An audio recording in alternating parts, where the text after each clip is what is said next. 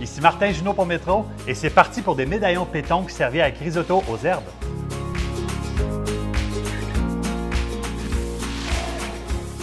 On commence par ciseler l'oignon et on taille les herbes en chiffonnade.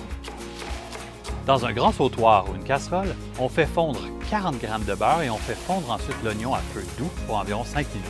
On ajoute le riz arborio et on le fait cuire environ une minute avec les oignons. On déglace au vin blanc et on laisse réduire jusqu'à presque sec. Pendant ce temps-là, on porte le bouillon de volaille à ébullition, on verse ensuite 1,5 litre de ce bouillon dans le sautoir, puis on baisse le feu afin de n'avoir qu'une petite ébullition. On laisse cuire 20 minutes, on ajoute les herbes, le parmesan et on remue frénétiquement. On réserve pour quelques minutes.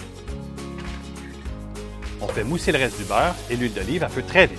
On assaisonne les médaillons pétantes et on les ajoute bien à plat dans la poêle. On fait dorer les médaillons pendant environ 4 à 5 minutes, puis on les retourne et on retire la poêle du feu.